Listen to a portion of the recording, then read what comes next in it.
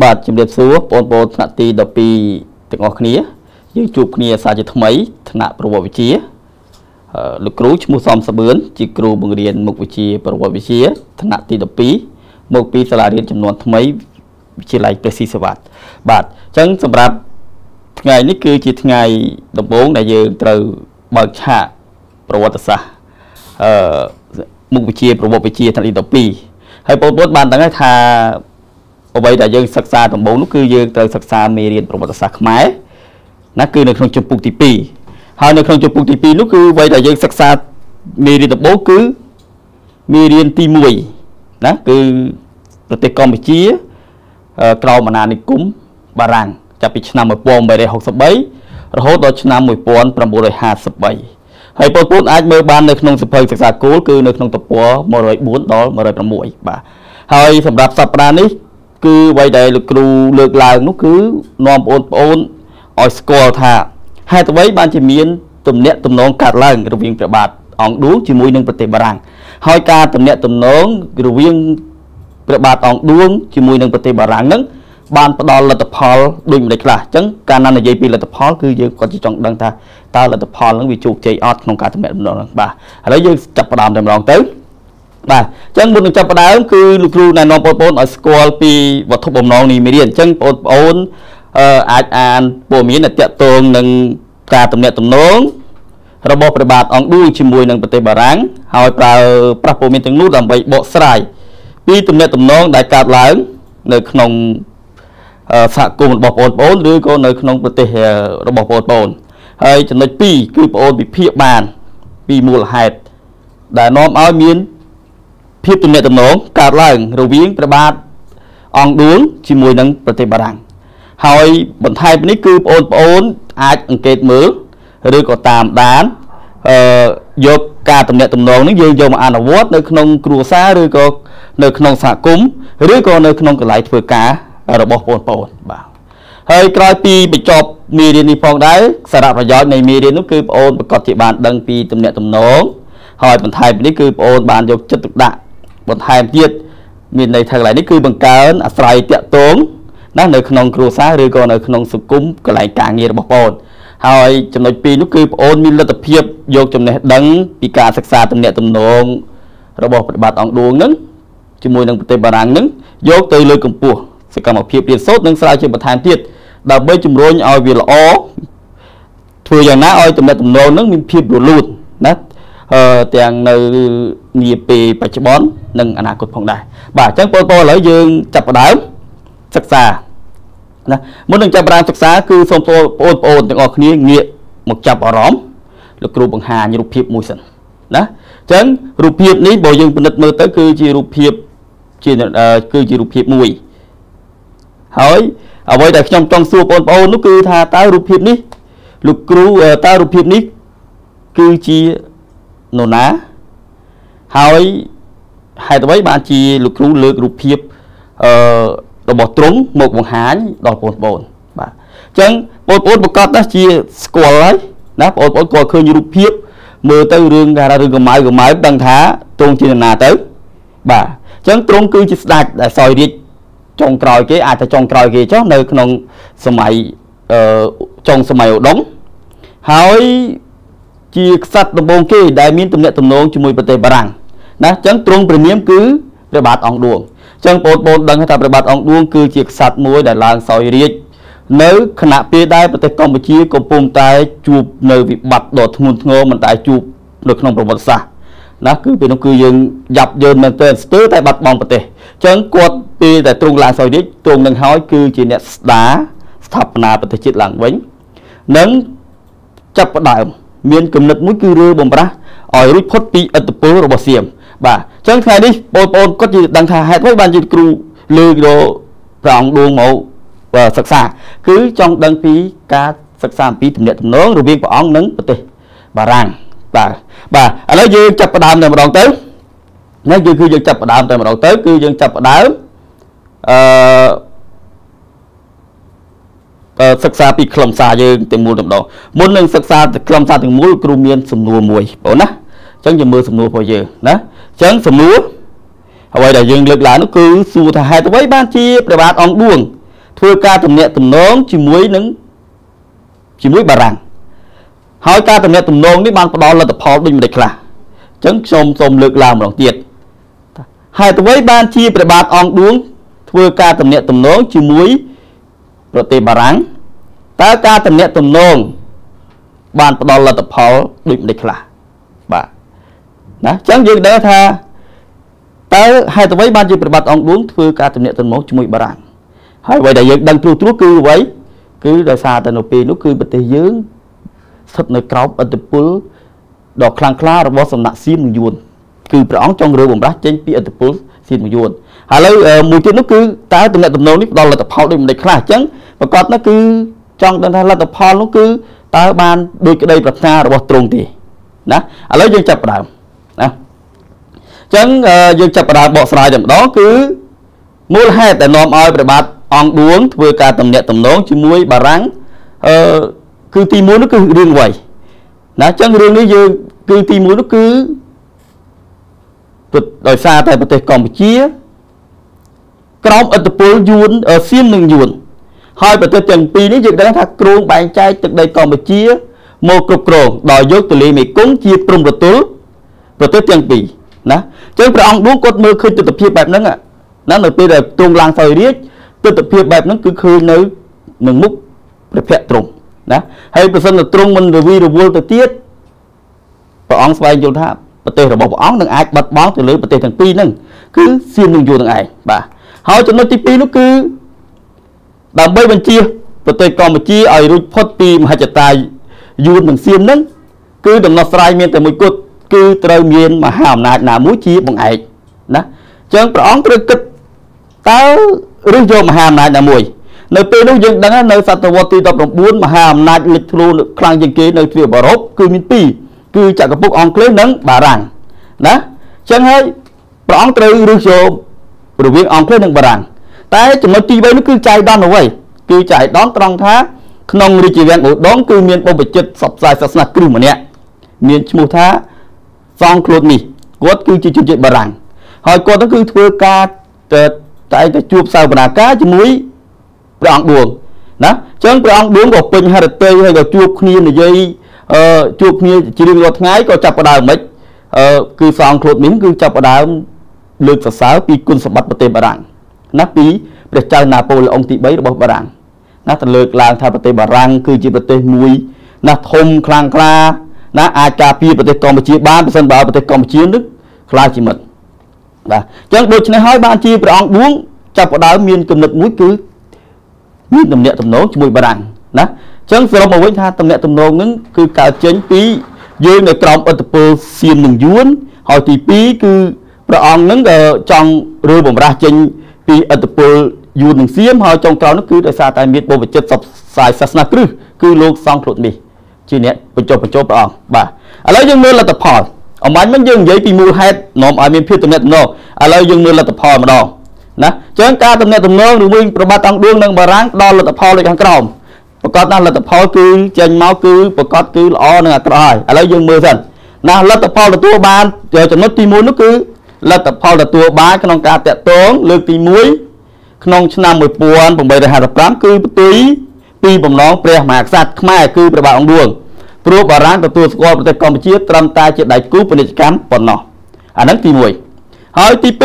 2នៅលើកលទ្ធផលលើកទី2គឺព្រះបាទអង្គឌួងបានផ្ញើលិខិតពីរទៀតដោយសុំទទូចឲ្យបារាំងសូមអន្តរាគមយកទឹកដីកូសាំងស៊ីនដែលបាត់បង់នៅឆ្នាំ1841អញ្ចឹង តែវាពុំបានទទួលផ្លែផ្កាអ្វីឡើយណាអញ្ចឹងយើងឃើញថាលទ្ធផលលើកទី1លើកទី2ហាក់បីដូចមិនបានលទ្ធផលល្អផ្លែផ្កាដល់អឺសម្រាប់ដល់ប្រទេសកម្ពុជាទេរវាងទំនាក់ទំនងអឺរបស់ប្រតិបត្តិអង្គឌូជាមួយនឹងប្រទេសបារាំងបាទហើយចំណុចមួយទៀតនោះគឺបាទណាគឺយើងលើកឡើងពីចំណុចហ្នឹងណាអញ្ចឹងឥឡូវបងប្អូនបានសិក្សារួចទៅហើយ ណាបានស្គាល់ហើយថាអឺហេតុអ្វីបានជាព្រះអង្គឌួងធ្វើការតំណែងតំណងជាមួយបារាំងហើយដឹងពីលទ្ធផលអញ្ចឹងលទ្ធផលយើងឃើញពីចំណុចនេះប្រកាសណាបងអូនសន្និដ្ឋានថាការតំណែងតំណងរវាងប្រទេសរវាងព្រះបាទអង្គឌួងជាមួយនឹងប្រទេសបារាំង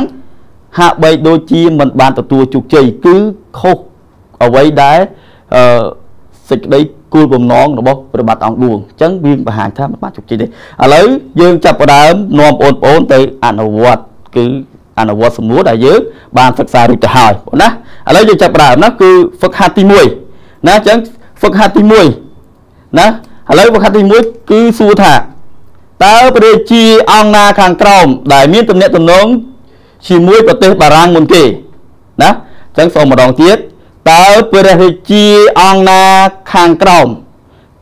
ដែលមានទំនាក់ទំនងជាមួយប្រទេសបារាំងមុនគេណាអញ្ចឹងចម្លើយយើងមាន4បងណាអញ្ចឹងចម្លើយគឺមាន4ណាអញ្ចឹងចម្លើយកគឺ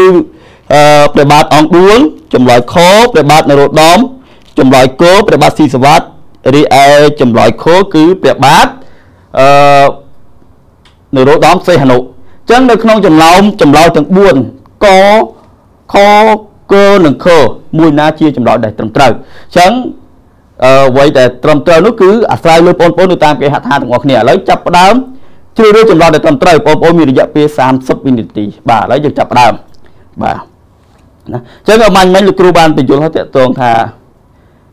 អឺស្ដេចដែលមានទំនាក់ទំនងជាមួយប្រទេសបារាំងមុនគេ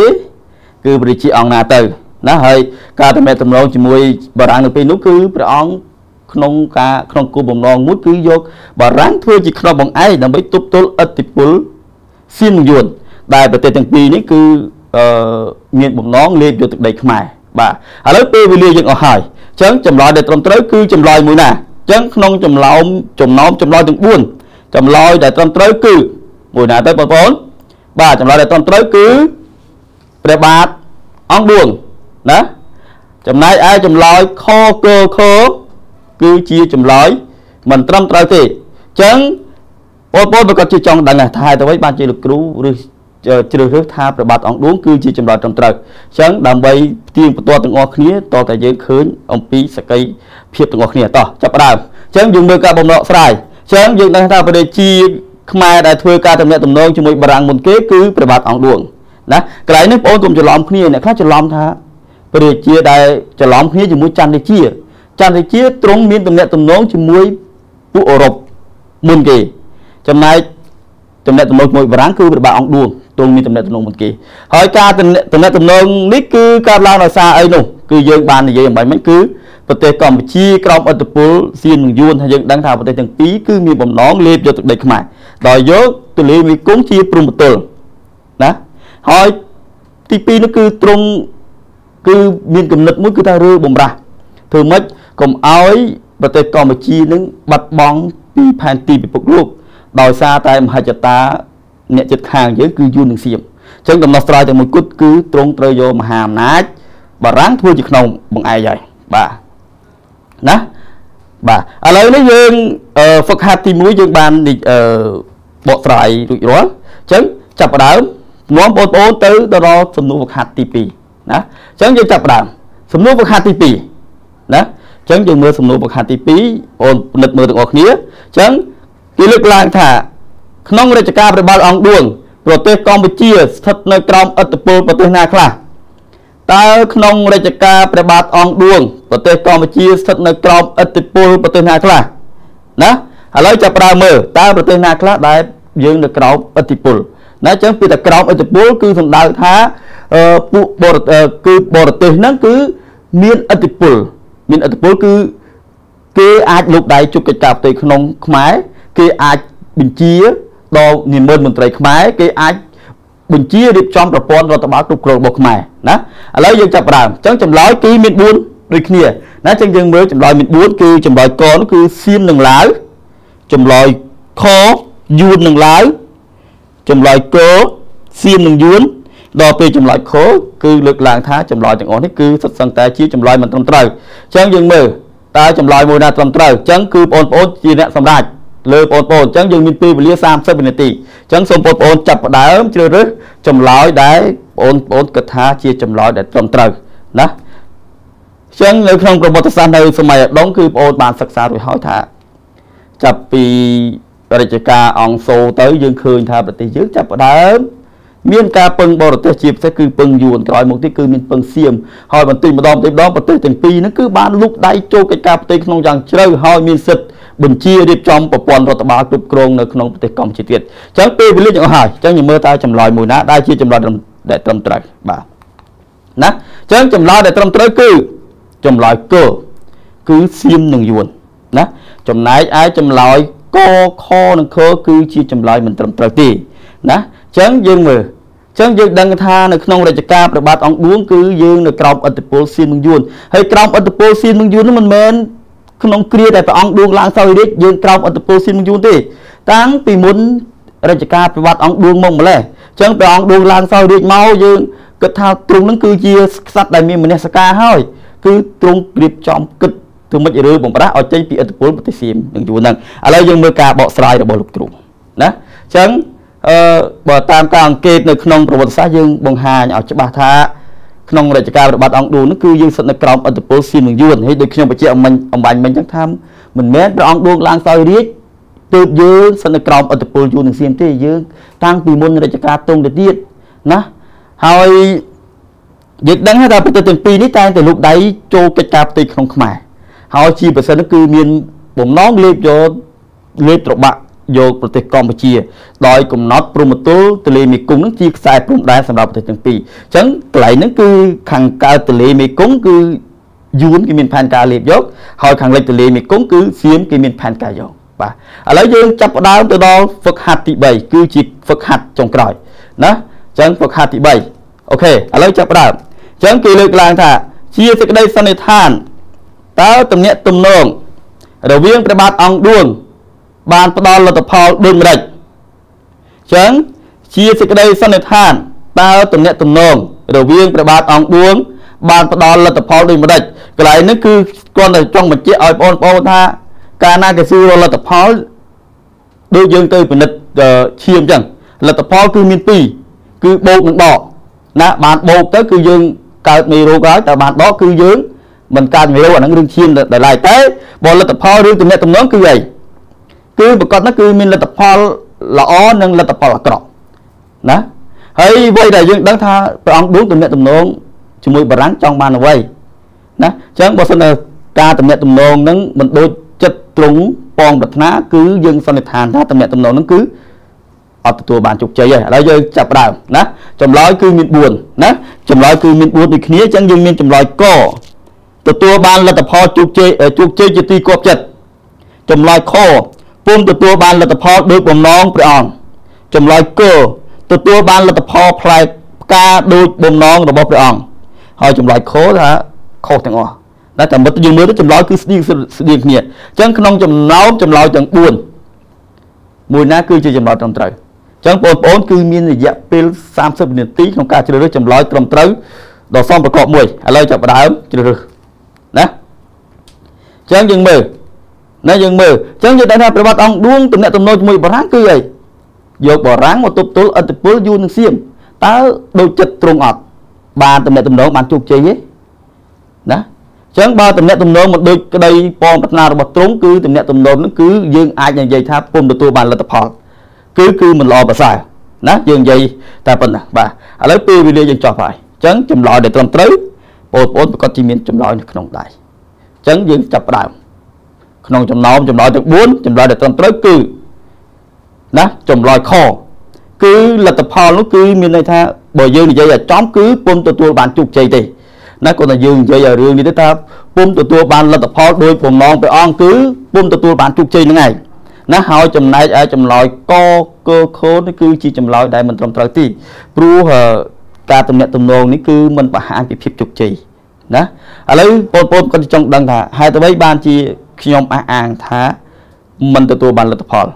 ជោគជ័យណាឥឡូវយើងមើលណាលទ្ធផលតកតងលើកទី1យើងដឹងថាអឺលទ្ធផលទទួលបានក្នុងការតកតងលើកទី1ក្នុងឆ្នាំ1855គឺផ្ទុយពីបំណងព្រះមហាក្សត្រខ្មែរគឺព្រះអង្គឌូនឹងឯងគឺព្រោះបារាំងទទួលស្គាល់យើងត្រឹមតែជាដៃគូពាណិជ្ជកម្មប៉ុណ្ណោះហើយសួរតែព្រះអង្គឌួងចង់បានធ្វើជាដៃគូតែពាណិជ្ជកម្មប៉ុណ្ណឹងឬយ៉ាងម៉េចអត់ទេព្រះអង្គឌួងគឺចង់យក មិត្តភាពបារាំងនឹងធ្វើជាអឺគ្រឹះដ៏រឹងមាំសម្រាប់រុញអឺសៀមនឹងយួនឲ្យដកចេញពីកម្ពុជា តែមានបានដូចចិត្តណាណាហើយលើកទី2នោះគឺផ្ញើពីទៀតដោយទទូចបារាំងឲ្យអន្តរាគមយកទឹកដីកូសាំងសៀនដែលបាត់បង់នៅឆ្នាំ1841ហើយក៏ពុំទទួលបានលទ្ធផលអ្វីឡើយណាយើងឃើញលទ្ធផលគឺបានទទួលទាំងអស់ទាំងលទ្ធផលលើកទី1លើកទី2លើកទី3ក៏មិនបានណាហើយខ្ញុំបន្ថែមបន្តិចគឺ ការទំនាក់ទំនងរវាងប្រងប្រងឌួងនិងបារាំងបរាជ័យក៏មានមួយទៀតដែរហេតុអីបានជាបរាជ័យគឺដោយសារតែមានការទប់ស្កាត់គម្រាមកំហែងពីសំណាក់សៀមនឹងឯងណាអញ្ចឹងសៀមសៀមគឺដឹងរឿងផែនការទំនាក់ទំនងរវាងប្របាទអង្គឌួងជាមួយនឹងប្រទេសបារាំងដោយសារហើយដោយសារតែមន្ត្រីការទូតគឺលោកសាទីមុងទីញីនឹងគាត់ធ្វើប្រហែសណាគាត់ធ្វើការយករឿងទំនាក់ទំនងអន្តរជាតិ រវាងប្រទេសមួយនិងប្រទេសមួយទៅកកកកាយនៅកន្លែងផឹកស៊ីពេលដែលគាត់ជួបជុំមន្ត្រីសៀមនៅទីក្រុងបាងកកអញ្ចឹងអឺយើងកន្លែងនេះក៏ខ្ញុំបន្ថែមថាសៀម